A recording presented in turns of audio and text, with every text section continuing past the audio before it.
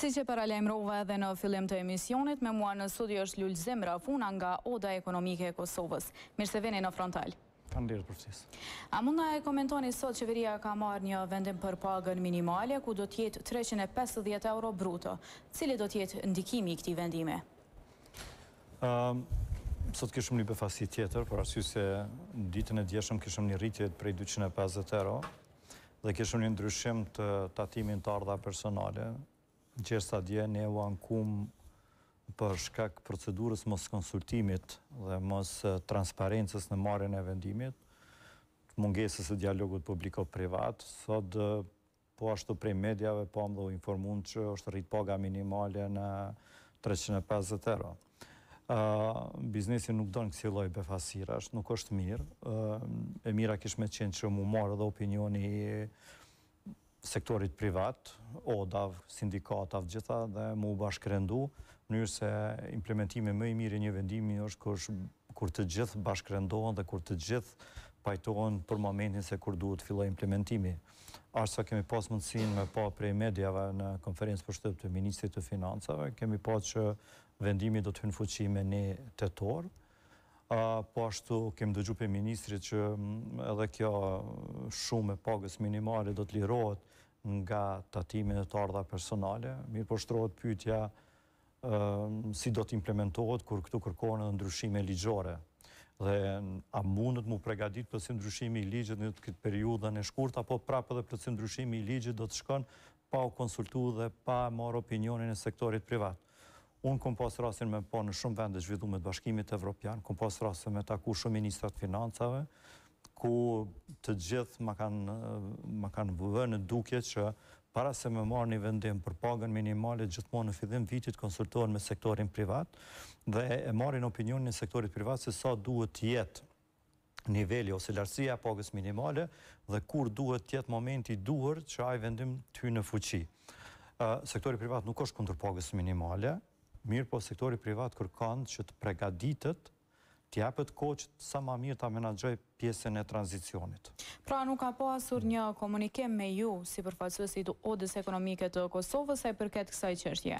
Jo vetëm me Odën Ekonomike të Kosovës, po me asnjë odë nuk ka pas dhe dje ka qenë reagimi i përbashkët i të gjithëve, por nuk ka pas një komunikim edhe me shoqatat, Për më shumë ne kemë ngritë zërin gjitha odat që jemi, për arsye se oda jonë, Oda Ekonomike e Kosovës është oda themelume me ligj dhe është publike, po edhe odat tjera që veprojnë në Kosovë, kemi ngritë zërin që tri vite e gjysmë që të kemi një dialog publiko-privat. Në fillim vit është aktivizu ose riaktivizu për arsye se ka qenë aktiv mirëpo nuk u pat thirrë Këshilli Ekonomik, Këshilli Kombëtar për Zhvillim Ekonomik dhe Investime si po quhet tani. Ne i patëm dy takime, të cilat u udhëheqën prej kryeministrit dhe në asnjërin prej këtyre takimeve nuk u paraqit kërkesa ose ideja ose propozimi i pagës minimale. Kështu që prapë shohim që përkundër që jemi mbledhur rreth Këshillit Kombëtar për Zhvillim Ekonomik dhe Investime, Pra po mungon ajo transparenca, po mungon dialogu mes neve. Pse vlerësoni se mungon ky dialog dhe cili mund të jetë ndikimi sa i përket më pas zbatimit të këtyre ndryshimeve? Pse po mungon nuk jam, nuk mund ta di, atë e dinë më së mirti zyrtarët e qeverisë, mirëpo mungesa e këtij dialogut biznesin e vnë në pasiguri juridike. Shikoni, kjo nuk ka pas ndonjë impakt te biznesi. lirimin nga tatimi të ardhave personale. Mirëpo çka ndodh në qoftë se nesër mirret një vendim me u ndryshu norma e tatimit të ardhave korporata ose me u ndryshu norma akcizës ose me u ndryshu norma e tatimit të vlerës së shtuar. Ëh, nuk po mirret parasysh opinioni. Biznesi nuk është duke duke kërku diçka kundërligjore. Biznesi po kërkon atë që kanë gjitha bizneset në vendet ma zhvillume të Bashkimit Evropian. Për ma shumë, kur ne jemi nënshkrues të Marrëveshjes Stabilizim Asociimit dhe kur bizneset tona bashkëpunojnë me bizneset e rajonit, bizneset evropiane dhe ma gjerë.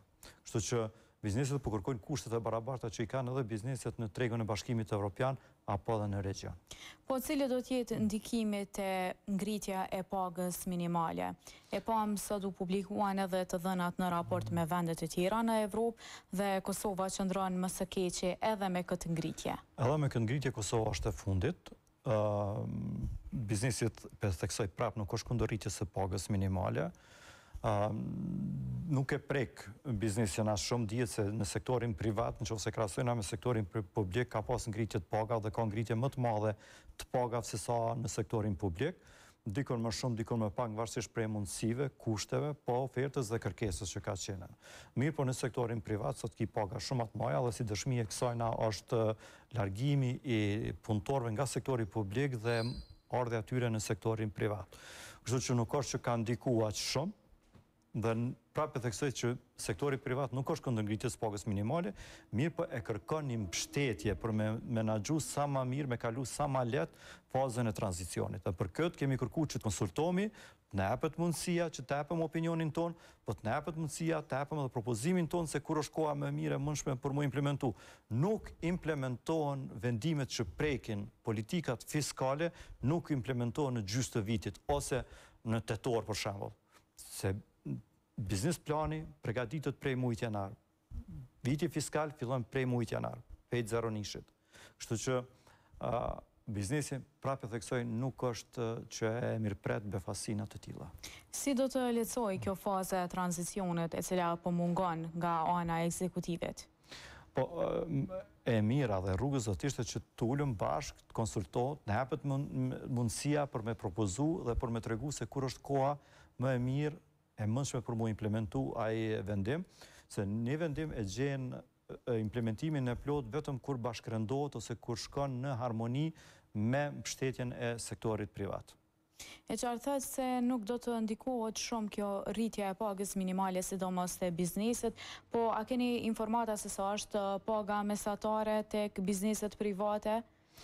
A, në, mvaret, për shembull qoftë se e sheh në territorin e, e Prishtinës është më e ngritur në regjionin e Prishtinës, po në qoftë se është në në territorin e Kosovës atëherë sillet rreth prej katërqind e pesëdhjetë deri në pesëqind, nuk i kemi të dhëna zyrtare, mirëpo me aq sa ne kemi pas mundësinë që ta bëjmë një analizë me anëtarët tanë, prapë e theksoj që në sektorin privat ka pas një avancim goxha të madh të pagave. E qartë. Mirë, do të thotë, thatë që nuk ka pasur komunikim nga ana e qeverisë me ju sa i përket çështjes së pagës minimale, mirëpo a ka pasur mundësi bashkëpunimi në fusha të tjera dhe çështje të tjera paraprakisht? Po, mvaret. Për shembull, ne kemi një bashkëpunim të mirë me me ministritë përkatëse që me disa ministri, me disa jo, varësisht prej fushave dhe prej si me thanë detyrave që i kemi të përbashkëta dhe organizimeve të ndryshme që i bëjmë të përbashkëta. Për shembull, me Ministrinë e Punëve të Jashtme kemi pas rastin ku kemi organizu, kemi sjell biznese nga jashtë dhe kemi taku me bizneset tona, siç e kishim rastin me delegacionin e Portugalisë. Me Ministrinë e Arsimit e kemi bashkëpunimin e shkëlqyshëm te mësimi dual, me Ministrinë e Infrastrukturës disa kompetenca në emën të ministri ose autorizime më më falni, disa autorizime në emën të Ministrisë së Infrastrukturës i ushtrojmë edhe ne, kështu që mvaret prej ministrive, po në përgjithësi sa i përket çështjes së ligjeve, akteve nënligjore, vendimeve administrative, hartimit të politikave fiskale, nuk është që është një komunikim, si të them, transparent dhe i rregullt me sektorin publik, në këtë rast me qeverinë, me ekzekutivin. Faktikisht e kam parë edhe një ditë një reagim nga Oda Ekonomike e Kosovës sa i përket qarkullimit të automjeteve gjatë ditëve kur temperaturat ishin mjaft të larta, keni thënë që i ka dëmtuar bizneset një vendim i tillë. A mund të na e komentoni se çka saktësisht edhe nëse keni pasur mundësi ta bëni një analizë se cili në fakt ka qenë dëmi që i është shkaktuar bizneseve? Ka qenë vendim afatshkurt, domethënë ka qenë brenda katër pesë dite. Ka qenë edhe reagimi i zëvendësministrit zoti Durmishi i menjëhershëm ku e ka shfuqizuar vendimin. Kërkesa jonë ka pas të bëjë me ato se asnjë vend i rajonit nuk e ka pasur një kufizim të tillë, ndërsa bizneset tona kishin vështirësi edhe në importimin e mallit, po edhe në distribuimin e mallit brenda vendit tonë dhe kjo ka shkaktu kosto shtesë për biznesin tonë. Për këtë arsye reagimi i Odës ishte që edhe në këtë rast vendimi është sjellë pa u konsultue me me ne dhe ne ia argumentuam zëvendësministrit që nuk është dashtë të sillet një vendim i tillë për shkak temperaturave që ishin në atë periudhë kohore, kur dihet që Kosova i ka autostradat ose rrugët i ka me kualitet më të lartë se sa vendet e rajonit, ndërsa vendet e rajonit asnjë prej tyre nuk kishte vendosur një kufizim të tillë. Dhe për më shumë, domethënë orari që ishte leju mbas orës së pesë në mbrëmje ne kishim vështirësi për arsye se asnjë doganë e vendeve të rajonit nuk Nuk ka punu mas orës pesë. Kështu që ka shkaktu dy tri ditë ka qenë sa ajo qarkullim sa ka pas të mallrave dhe ka shkaktu sfidë të madhe te biznesi, po e falendrojmë zëvendësministrin që ndërmori veprime të shpejta dhe e anuloi vendimin. Flasim në vazhdimësi për investimet e huaja veçmas në këtë periudhë ku Kosova po përballet edhe me sanksione apo masa të Bashkimit Evropian. Madje para disa ditëve pati një konferencë për media ku u nënshkru një marrëveshje mes USAID dhe Kosovës, mirëpo u tha se ka ndikuar në partneritetin në mes të dy vendeve krejt qëndrimet e qeverisë. A ka ndikuar kjo edhe në tek bizneset në vend, tek investimet e huaja? Padyshim që tensionet, sidomos në pjesën veriore që i kemi pas ato fotografitë e sulmit ndaj ushtarëve të KFOR-it, po edhe mbyllja e rrugëve nuk ka qenë një mesazh i mirë për investitorët e huaj dhe kem pas shumë herë pyetje se a do të vazhdojë të ketë trazira në Kosovë, Ne si Odë Ekonomike e Kosovës e kemi dëshmu dhe ju kemi tregu që Kosova ka një ambient të mirë miqësor të bërit biznes dhe nuk ka asnjë si them asnjë tendencë për të pas trazira në Kosovë dhe i kemi ftu të gjithë investitorët dhe ju kemi mundësu edhe takimet që i kemi me me Odat Evropiane po edhe kemi sjellë delegacione shumë të huja në Kosovë bizneseve në Kosovë, në mënyrë që ata për së afërmi me pa dhe mos me met m'u njoftu vetëm prej mjeteve të informimit të atij vendi kur ndodh një incident te ne.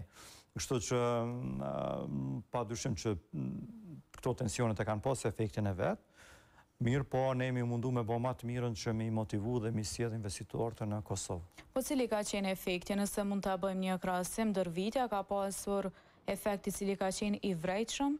Sa i përket. Shiko, ne, sa i përket investimeve të huaja, ne kemi dështu me sjellë investime kualitative. Ne nuk po arrijmë që të sjellëm investime kualitative, fabrika që hapin, nuk po thom një mijë punëtorë, po s'paku njëqind punëtorë. More edhe dhjetë punëtorë, po duke përjashtu diasporën tonë, që ata me forcat e veta, me mundësitë e veta, jon mundu që të hapin fabrika prodhuese në Kosovë.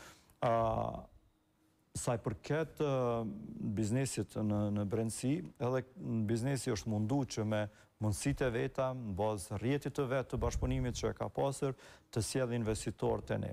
Ne duhet të punojmë shumë që të sjellëm investime, të sjellëm brendet që janë të njohura, që na ndryshojnë imazhin, jo vetëm që na i sjellin një pajisje ose që na i sjellin një njohuri profesionale, por i tërhekin edhe shumë investitorë tjerë për të ardhur për të investuar në Kosovë. Po sa është realizuar një gjë e tillë viteve të fundit? Po thashë që ka qenë shumë sfiduese dhe nuk, thuajse nuk është realizu hiç. Ne kemi investime, po kemi investime që prinë diaspora në palujtshmëri. Qoftë se i shohim dhanat e Bankës Qendrore, ne e shohim që gjashtëdhjetë e pesë, shtatëdhjetë për qind të të investimit është bërë në palujtshmëri. Ë, ndërsa në prodhim shkon një shumë shumë e vogël. Prej tetëqind milionëve për shembull sa i kishim pas vitin e kalum, vetëm njëzet, njëzet milionë kanë shkue në prodhim, njëzet milionë kanë shku në shërbime që i bij dyzet milionë në total të asaj shume janë investue në prodhim. Si qëndron Kosova me investimet e huaja direkte? Për shkak që para disa ditëve kryeministri e shpërndau një postim në të cilin tha se Kosova nuk qëndron keq. Si e shihni ju si përfaqësues i Odës Ekonomike të Kosovës? Po, shiko, Dëshira jonë është, prapë e theksoj, që unë të shoh, sa çdo ditë t'i shoh ministrat e Qeverisë së Republikës së Kosovës, po edhe unë të jam në hapjen e fabrikave të cilat e rrisin prodhimin. Ne jemi duke importu. Ne kemi një deficit shumë të madh tregtar. Domethënë nëse shohim raportin import dhe eksport ne e mbulojmë me katërmbëdhjetë për qind. Bile këtë vit kemi edhe ramje të eksportit.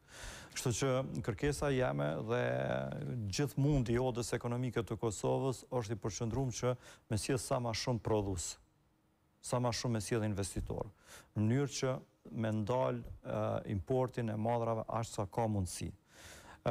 Mirëpo këtu na nevojitet edhe ndihma e qeverisë. Duhet një freskim i politikave fiskale, duhet një ndërmarrje e masave të fuqia te, si të them, te sigurimi i fuqisë punëtore. Një analizë të brendshme që e kemi bërë në Odën ekonomike, sfida e parë del mungesa e fuqisë punëtore. E dyta, edhe ajo fuqi punëtore që e kemi sot nuk është e kualifikuar për tregun e punës. Çka nënkupton kjo? Kjo nënkupton që duhet me urgjencë të bëhet një reformë e sistemit arsimor për ta përshtatë me kërkesat e tregut që i kemi. Në cilë sektor ka mungesë të fuqisë punëtore të kualifikuar? Të gjithë sektorët kanë mungesë të fuqisë punëtore, mirëpo më i theksumë është sektori i gastronomisë dhe ndërtimtarisë. Këto janë dy sektorë ku është më e theksume mungesa e fuqisë punëtore. Po nuk përjashtohen edhe sektorë të tjerë. Cili ka qenë ndikimi i liberalizimit të vizave, a është vërejtur te pjesa e punëtorëve? Sa i përket mungesës së fuqisë punëtore nuk është vërejt shumë, për arsye se kjo ka qenë një trend i tri viteve të fundit. Padyshim që liberalizimi i vizave iu ka ofru një mundësi ma të lehtë të rive, të rejave që gjatë vizitës së tyre për arsye se ata janë të vetëdijshëm që liberalizimi i vizave nuk është vizë pune, po është një liberalizim i vizave për qëllime turistike, qëndrim 90 ditor brenda tregut të Bashkimit Evropian ose vendeve të Bashkimit Evropian. Mirëpo marrë në konsideratë tani edhe infrastrukturën që ne si Kosovë e kemi të gatshme me diasporën tonë, që i kemi më së shumti të përqëndruar në Gjermani, në Austri, në Zvicër, iu kanë ndihmu të afërmit, që sa ma lehtë të bijnë në kontakt me një punëdhënës dhe t'i rregullojnë ato kontratat e punës dhe dokumentacionin që vijnë të aplikojnë për leje të punës. E dyta që ka koincidu me liberalizimin e viza në Kosovë, që nuk e kishin shtetet e rajonit, është se në rastin tonë procedurat e marrjes së vizës së punës nga shumë vende të Bashkimit Evropian u thjeshtësun në minimumin e mundshëm, që nuk ishte rasti për shembull me shtetet e rajonit të cilat e morën liberalizimin e vizave në vitin dy mijë e njëmbëdhjetë, dymbëdhjetë. Dhe kjo padyshim që iu ka lehtësu rrugën t'rive dhe t'rejave që të marrin më lehtë viza pune dhe të punësohen. Mirëpo nuk është i theksuar me rastin e liberalizimit të vizave për arsye se ka qenë një trend i tri viteve të fundit që t'ritë dhe t'rejat kanë dalë jashtë për qëllime të gjetjes së ndonjë pune më të mirë. Flasim për masat e Bashkimit Evropian, cili ka qenë ndikimi i tyre, a janë prekur edhe bizneset sa i përket këtyre masave? Po, bizneset janë prek drejtpërdrejt, sikurse edhe qytetarët e Republikës së Kosovës, për arsye se janë, aq sa kemi pas mundësi me pa përmes mjeteve të informimit, janë diku në treqind milionë projekte të cilat kanë kanë qenë të parapara për investime kapitale e të cilat mbahen pezull si rezultat i masave ndëshkuese. Mirëpo këto projekte përveç që kanë qenë kapitale, do të kishin efekt të drejtpërdrejtë te biznesi, do të kishin ndiku edhe në ngritjen e mirëqenies sociale për qytetarët e Republikës së Kosovës. Andaj, kërkesa jonë e vazhdueshme ka qenë që të bëhet maksimumi që sa ma shpejt largohen këto masa. pra qeveria t'i ndërmerr të gjitha veprimet, edhe në terren, edhe diplomatike, edhe politike, në mënyrë që sa ma shpejt t'i largojmë këto masa dhe Kosova të lirohet prej këtyre masave që nuk i meriton. Shohim që këto masa akoma nuk janë larguar, a mund të ketë pasoja afatgjate te bizneset? Po, ne folëm për shumën e mjeteve të projekteve që kanë qenë të parapara deri më sot. Mirëpo, në qoftë se këto masa vazhdojnë të mbesin në fuqi, pa dyshim që vijnë edhe projekte të tjera dhe që neve nuk do të na lejohet që të jemi pjesë e marrjes së mjeteve për ato projekte që janë në ardhje. Për shembull e kishëm rasin me projektin e digjitalizimit, ku gjitha vendet e Ballkanit e morën hisen e vet, ndërsa Kosovës nuk i takoi për shkak se është në masa të Bashkimit Evropian. Kështu që kjo shumë do shkon duke u rrit. Sa ma shumë që rritet kjo shumë, vërehet te bizneset, domethënë mos marrja e këtyre mjeteve. Shto këtu edhe shumën e mjeteve që janë të parapame në ligjin e buxhetit të shtetit për investime kapitale, që asnjëherë në këto tri vitet e fundit nuk është implementu aq sa ka qenë e parapame, se jo mbi atë shumë, por. Edhe aq sa ka qenë e parapame, atëherë shto si e treta edhe mos marrjen, mos ngritjen e borxhit publik. Ne lavdërohemi që kemi borxhin më të ulët, mirëpo kërkesat, kushtet, rrethanat që jemi, kërkojnë që të kena borxh më të lartë dhe të marrim për projektet që janë për zhvillim ekonomik të vendit. Unë jam kundër marrjes së borxhit publik për shpenzime rrjedhëse. operative siç janë pagat, pensionet, shtesat e ndryshme, por nuk jam kundër me marrë për projekte që ndikojnë drejtpërdrejt në zhvillim ekonomik dhe në ngritje të një mirëqenie më të mirë sociale për qytetarët e Republikës së Kosovës. Jemi në fund të bisedës, mirëpo si e vlerësoni deklarimin e Bankës Qendrore të Kosovës se gjatë vitit dy mijë e njëzet e katër pritet që të ketë zhvillim ekonomik prej tre pikë nëntë për qind? Po, rritja e bruto produktit vendor prej 3.9% siç e ka dhënë Banka Qendrore është aq e vogël sa nuk vërehet. Unë do të isha i lumtur që kjo do të ishte dyfish më e lartë. Edhe Banka Qendrore në deklarimin e vet që ka bërë, e ka dhënë që mund të rritet nëse do të ketë investime publike, private po edhe nga konsumi. Kështu që mbetet për t'u pa, mirëpo edhe raportet e FMN-së edhe Bankës Botërore e japin parafërsisht këtë shifër, domethënë prej tre pikë shtatë deri në tre pikë nëntë. E cila nuk është e kënaqshme. Absolut, nuk lën asnjë asnjë gjurmë dhe nuk ka asnjë efekt në në përmirësim të jetës tonë. Po çka do duhej të bëhej që të parandalohej një gjë e tillë? Po duhet të punohet më shumë, thashë. Duhet më së pari që të projektet të cilat janë të parapame në buxhet të shtetit, qeveria duhet t'i implementojë sa ma shpejt që është e mundur dhe mënyrë sa ma transparente dhe të plotë. Atë shumë mbi tetëqind milionë që është e parapame për investime kapitale duhet në maksimumin e mundshëm ta implementojë, ta shpenzojë. Duhet ta ngrisë borxhin publik. Duhet të punojë shumë te projektet ndërkombëtare që t'i eliminojë masat ndëshkuese dhe t'i merr këto projekte. Dhe kështu shkon duke e rrit domethënë sa më shumë që investon, sa më shumë që e rrit prodhimtarinë, ti shkon duke e rrit edhe brutoproduktin vendor që automatikisht e ka efektin te qytetarët të Republikës, te zhvillimi ekonomik dhe te qytetarët e Republikës Kosovës. Zotëri Rafuna, ju falenderoj që ishit pjesë e emisionit Frontal sot. Falenderoj shumë, merci. Ndërkaq ne shikues të nderuar vazhdojmë me informacione të tjera dhe flasim për takimet që po i zhvillon Sindikata e Arsimit në prag të fillimit të vitit të ri shkollor.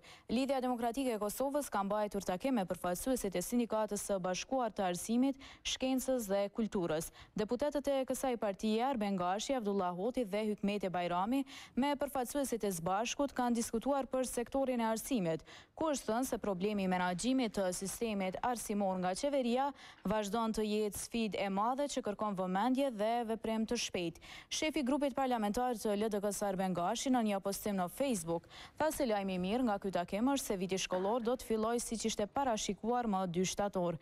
Në këtë takim është diskutuar edhe për kontratën kolektive, për të cilën Gashi ka thënë se duhet të nënshkruhet sa më shpejt.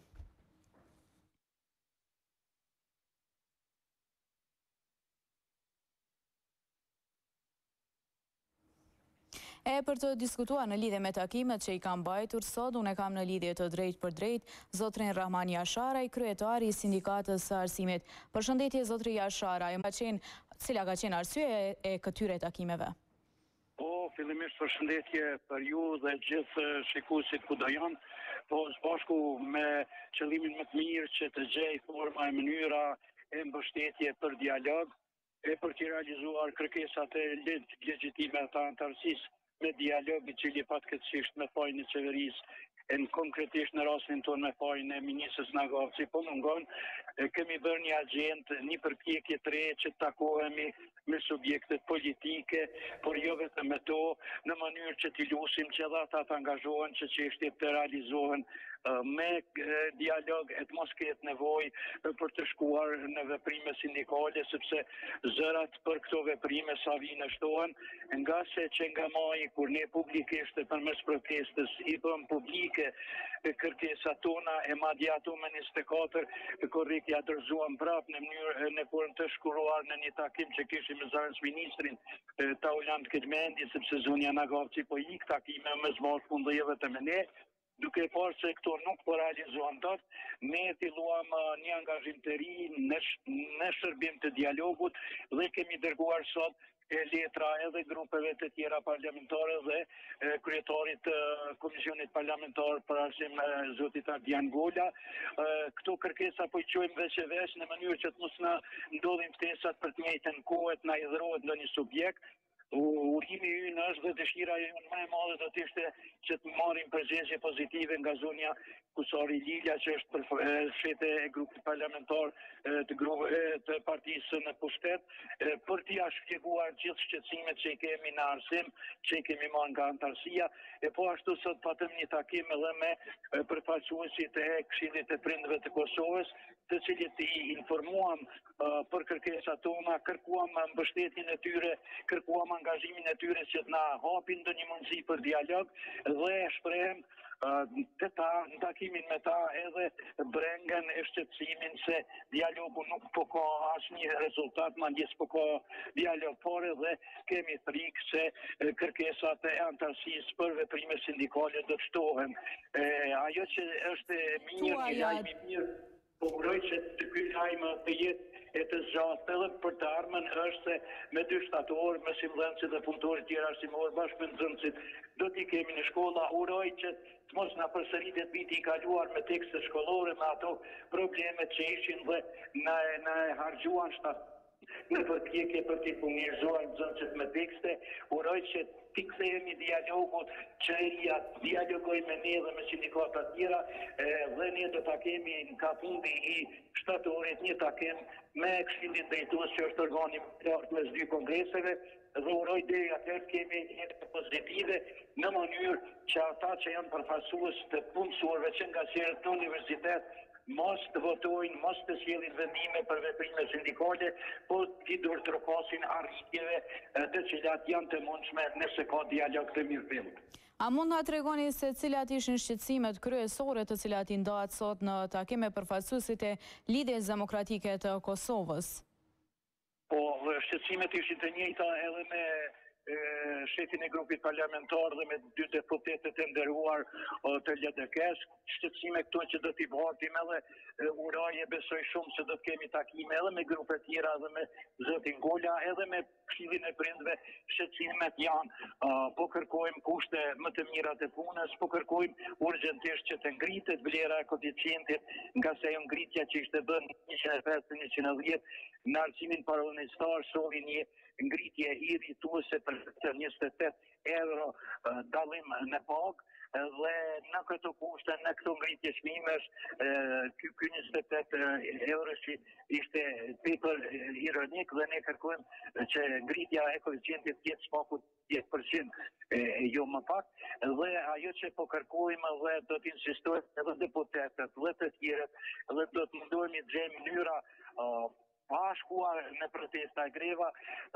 sepse vendimi i fundit i qeverisë dhe votimi në parlament i ngutshëm bëri që të dëmtohen rëndë punëtorët e arsimit të viteve 90-ta sepse me ligjin bazik u eshte me nenin 8.6 u ishte siguruar ishte e drejta që ato vite të konsiderohen vite kontributdhënëse dhe ata me këto vite e me do vite tjera dhe ta arrinë atë 15 vite që është kriter tepër i gabuar në mënyrë që t'i marrin pensionet e punës e jo pensionet e pleqnisë por fatkeqësisht me ndryshimet e ligjit nga qeveria aktuale e Kurti është hequr pika gjashtë e nenit tetë dhe këtyre njerëzve tani me situatën siç është nuk u njihen si vite kontributdhënëse po vetëm si numra dhe nuk peshojnë fare madje me kalimin e kohës pensionet e tyre do të zvoglohen vit për vit dhe ne do të insistojmë e do të mundohemi të gjejmë mënyra përmes dialogut